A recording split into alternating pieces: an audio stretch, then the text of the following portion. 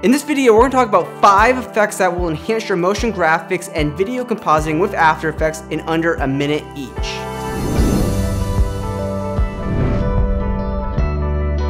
Hey, what's going on internet? This is Josh Noel from Sonduck Film. Like the title says, we're going to talk about these 5 quick effects that you can apply to enhance your motion graphics or your video, especially when you're compositing VFX on video. And each of these five effects will be able to stand on their own and you only have to touch one or two parameters per effect. First effect we're going to talk about, which I think is very underrated, it is the noise effect. And this effect is really good when you're working with motion graphics or you're compositing elements on top of your video. And what noise does, it brings a little bit of grain into your static motion graphics or your compositing elements where you need a little bit of noise and grain to kind of make it look like a motion picture as if you're shooting on a camera. So go ahead and check out this effect. So here's a general example of a composition and you can see the banding of the gradient here that's moving around other than the banding of the gradient, this scene looks really clean. If I was going to mix this with video, which has grain in it, this clip doesn't have grain. So we can really enhance this really quick by adding some noise. So create a new adjustment layer, and you're going to want to do this for all the other effects that we're going to use in this video. And this effect is underneath the noise and grain, and it's called noise.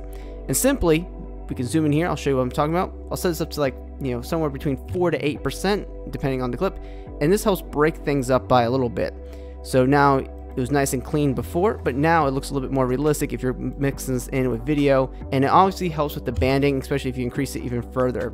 So depending on the effect, I would say if you're going for something that you want to keep clean, keep it at 4%. And if you want to just be a little bit more aesthetic with it, you can set it up to 8%. Uh, so this is a really cool effect to play with when you're compositing motion graphics.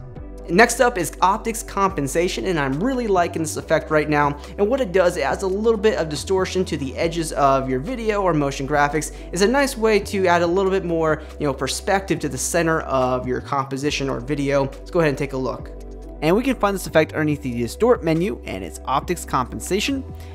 And simply all we have to do is increase the field of view and we get a little bit of distortion here and this is not what I want. And I'm gonna click on reverse lens distortion and now we can kind of distort our image a little bit and looks really cool here so we can before and after and if you want you can easily use this as a nice transition and if you apply this as a keyframe it really warps the perspective of your composition and it can also be added as a nice reveal Third up on the list is glow, and you probably have used the glow effect before if you're into After Effects. And the glow effect is a really nice way to enhance your motion graphics, especially your titles, and put more emphasis on what's important. So take a look at how to use the glow effect correctly. And the glow effect is underneath the stylized menu. And of course, just adding a little bit of glow just boosts up your titles or whatever your layer you're applying this to, and it looks really good by itself. But let's say if you want to change the color of this, you know, you could color A, you can change the color of it, and mostly it doesn't always change it. If you change it to alpha channel, you don't really have a strong reading of this. So what I suggest doing with the glow effect when you use it, if you really want to maximize this, you can change your color down here and go to the glow colors and change the original colors to A and B colors. And then go to color looping and change it to sawtooth B greater than A. And now we come here increase the glow intensity.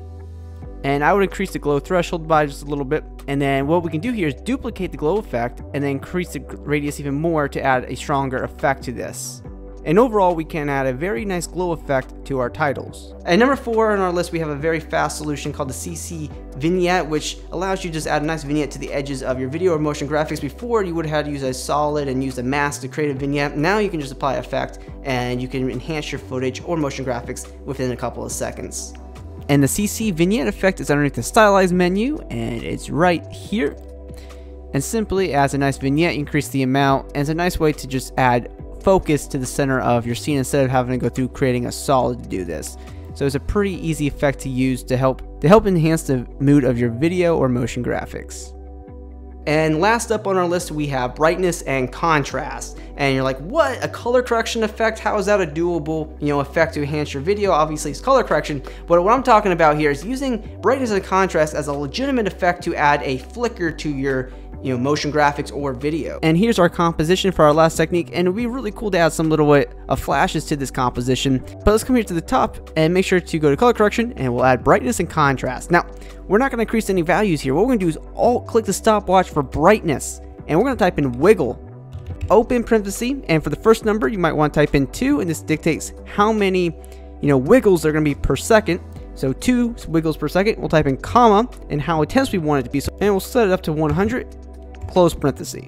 And now there's a little bit of a brightness wiggle to this. And I increased the number of wiggles to 10, so now we can apparently see that there is a brightness and contrast, you know, wiggle effect going on here. And what's cool about this is that, you know maybe we only want this effect around our titles, for example. So I'll come here and create a mask here, and we'll hit F on our keyboard for feather.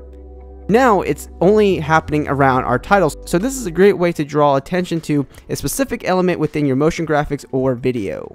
So you can be creative with the brightness and contrast effect along with these other four effects that we've talked about in this video. If you're looking to really speed up your workflow and grow your business, check out Envato Elements where you can download unlimited After Effects project files and Premiere project file templates from a library of thousands. Also, Envato Elements allows you to download unlimited graphics for branding like business cards, flyers, and other print material you need to succeed in your business. You can also download thousands of stock video and photos and even website templates, and this is just for $16.50 a month where you can have unlimited access to all the creative elements you need to produce professional projects in a time efficient manner. To learn more, check out our links in the video description.